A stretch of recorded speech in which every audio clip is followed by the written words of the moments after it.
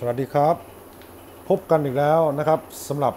Joker Butter Tattoo Supply Channel นะครับสำหรับวิดีโอนี้นะครับผมจะมาแนะนำหม้อแปลงเครื่องสัก Mass Sketch Power นะครับมาเริ่มกันเลยนะครับ ตัวกล่องก็จะเป็นกล่องสไลด์แบบนี้นะครับ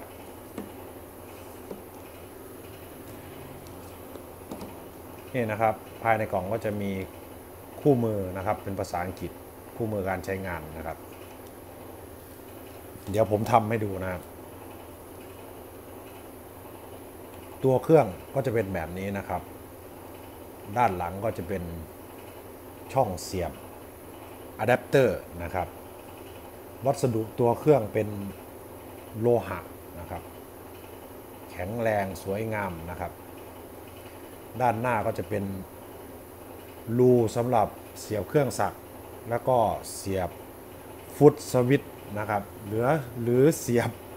เครื่องสักได้ 2 ตัวนะครับ แล้วก็ใช้สวิตช์ที่ตัวหม้อแปลงนะครับ ภายในกล่องก็จะมีอะแดปเตอร์แบบนี้นะครับ แถมมาให้ 1 ชิ้นนะครับ เดี๋ยวผมเปิดเครื่องให้ดูเลยนะครับนี่นะครับ เปิดเครื่องก็กดปุ่มสีดำนะครับ กดปุ่มแช่ไว้นะครับ เครื่องก็จะติดขึ้นมาหน้าจอเป็นแบบนี้นะครับ ตัวหนังสือใหญ่นะครับ มองชัดเจนปรับไฟขึ้นลงได้ จาก 3 โวลต์ถึง 12 โวลต์นะครับ ปรับไฟนี่นะครับ ไม่งอแงนะครับ ไฟนิ่งดีนะครับนี่นะครับ มาเริ่มที่ฟังก์ชันต่างๆ ของตัวเครื่องเลยนะครับ ผมเสียบเครื่องสักก่อนนะครับ เริ่มจากฟังก์ชันแรกนะครับ เสียบเครื่องสักแล้วก็ฟุตสวิตนะครับ นี่โหมดปกตินะครับ เราก็ เสียบเครื่องสัก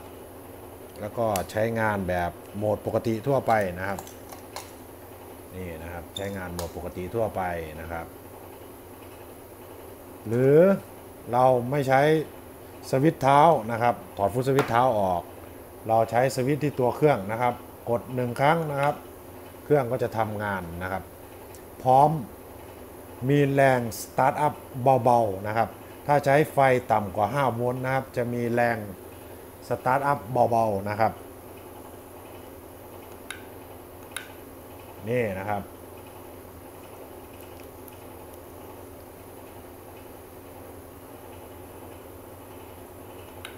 หรือเราใช้ foot switch นะครับ ต้องการเหยียบครั้งเดียวแล้วก็ให้มันติดยาวเราไม่เมื่อยนะครับเมื่อยขี้เกียจเหยียบนะครับขี้เกียจเหยียบแช่นะครับ เรากดปุ่มนี้นะครับ กดปุ่มนี้หนึ่งครั้งนะครับ จะขึ้นว่าออนนะครับออนพอขึ้นออนแล้วเราก็เหยียบสวิตช์นะครับเหยียบสวิตช์หนึ่งครั้งเครื่องก็จะติดนะครับ ปล่อยสวิตช์ได้เลยนะครับ เครื่องก็จะติดยาวเลยนะครับ ติดยาวติดยาวนะครับ เราเหยียบสวิตช์อีกครั้งหนึ่งก็เครื่องก็จะดับนะครับ ถ้าเราอยากใช้โหมดกลับมาใช้โหมดปกตินะครับ เราก็กดสวิตช์อีกหนึ่งครั้งนะครับ ก็จะขึ้นออฟนะครับ เราก็จะกลับมาใช้งานเป็นโหมดปกติทั่วไปนะครับ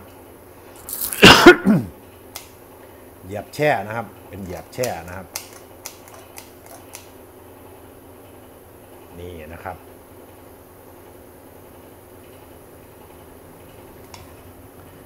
ดูฟังก์ชันการใช้งานต่อไปนะครับ ฟังก์ชันต่อไปนะครับ เสียบเครื่อง 2 ตัวนะครับ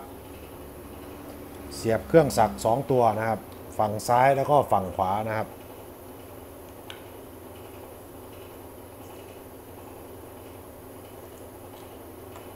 ก่อนเราจะเสียบเครื่องสัก 2 ตัวนะครับ เรากดสวิตช์ตรงกลางนะครับ แช่ไว้ก่อนนะครับ ประมาณ 3 วินะครับ จะขึ้นมาเป็น1ขีด1นะครับ1ขีด1นะครับ1ขีด1แล้วเราก็สามารถเสียบเครื่องสักได้ 2 ตัวนะครับ เสียบ 2 ข้าง ใช้งานสลับกันได้เลยนะครับ นี่นะครับ เราดูจากไหนว่าเครื่องไหนทำงานนะครับ จะมีไฟตรงนี้นะครับ จะมีไฟตรงนี้ส่องสว่างนะครับ เราเปิดเครื่องนะครับ อันนี้ไม่ได้ใช้สวิตช์เท้านะครับ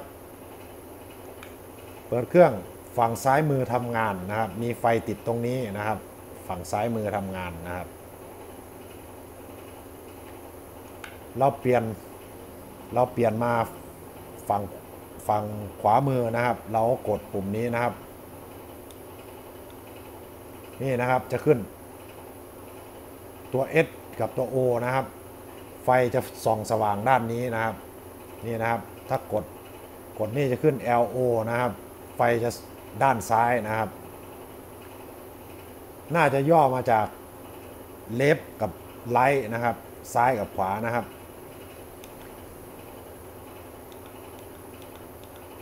อ๋อไม่ใช่ครับไม่ใช่ อันนี้ L L กับ S นี่น่าจะย่อมาจาก Liner กับ Shader นะครับ ขออภัยด้วยครับ อันนี้นะครับ L นะครับ ไฟขึ้นฝั่งนี้ก็เครื่องก็ทำงานฝั่งนี้นะครับ นี่นะครับ เครื่องทำงานฝั่งนี้นะครับ ถ้าเปลี่ยนนะครับ ฝั่งนี้นะครับ เครื่องก็ทำงานฝั่งนี้นะครับ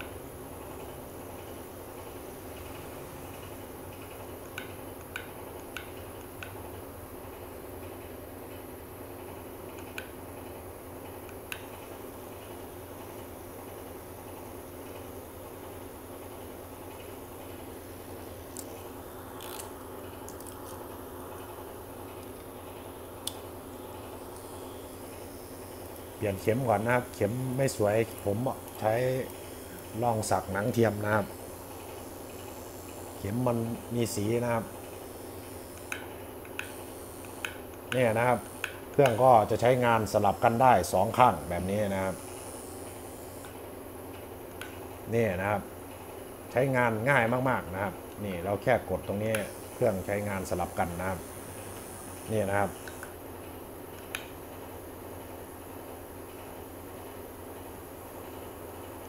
กดสลับนะครับ แล้วเราก็แบบนี้นะครับ เครื่องใช้งานสลับกันนะครับ หยุดเราไม่ต้องหยุดก็ได้นะครับ เรากดสลับแล้วเราก็กดแบบนี้นะครับ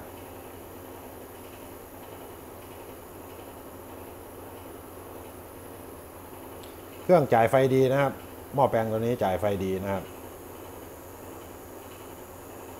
นี่นะครับ หยุดแล้วเราก็เปลี่ยนข้างนะครับ นี่นะครับ ง่ายมาก ๆ นะครับ ง่ายมาก ๆ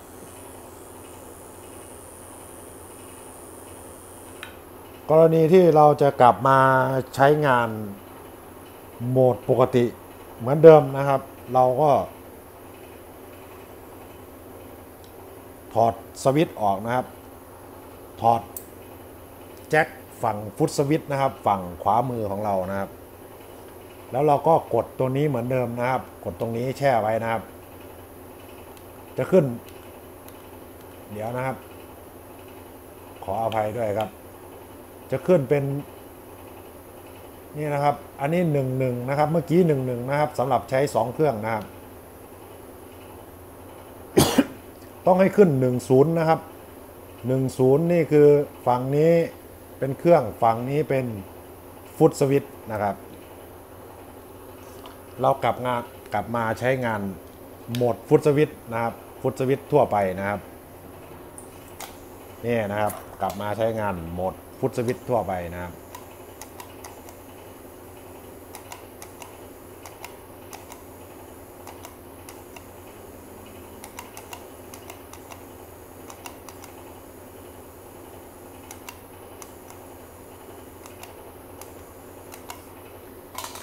ปิดเครื่องนะครับ ถ้าปิดเครื่องนะครับ เราก็กด กดปุ่มสีดำนี่นะครับ สีดำใหญ่ๆนี่นะครับ แช่ไว้ประมาณ 3 วิเครื่องก็จะดับนะครับสำหรับวิดีโอนี้ก็มีเพียงแค่นี้นะครับ ก่อนจากกันไปก็ฝากเพื่อนๆพี่ๆนะครับ ถ้าชอบก็อย่าลืม กดไลค์กดติดตามแล้วก็อย่าลืมกดกระดิ่งด้วยนะครับ ถ้าหากมี ข้อสงสัยอะไร หรือต้องการให้ผมรีวิวสินค้าตัวไหนก็คอมเมนต์ไว้ข้างล่างวิดีโอนะครับ หรือสอบถามทาง Facebook Joker b a t t e r Tattoo Supply ได้เลยนะครับ ขอบคุณมากครับ